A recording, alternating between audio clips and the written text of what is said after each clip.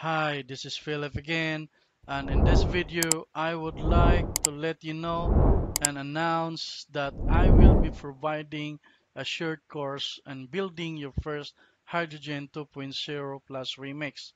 And in the next following weeks, I will going to release a series of videos. And initially, we'll be having nine topics will be taken up in this course as follow. First, Hydrogen 2.0 requirements setting up your local environment.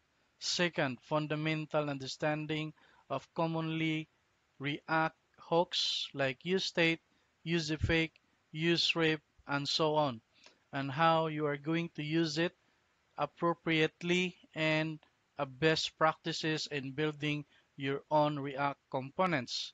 Third, fundamental understanding of Remix Oxygen and the modules like loader, arguments, and defer.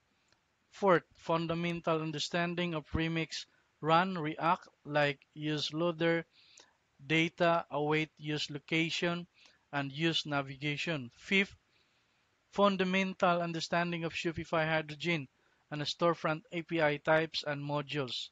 Sixth, adding animation to your Hydrogen apps. Number seven, adding a custom app to your Hydrogen app.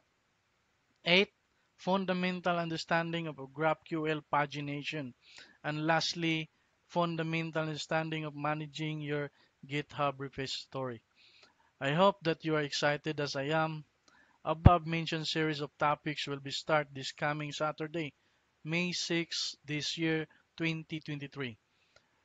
Every following weeks I will be going to release each of them. So please keep tuned and I'm looking forward to seeing each other again.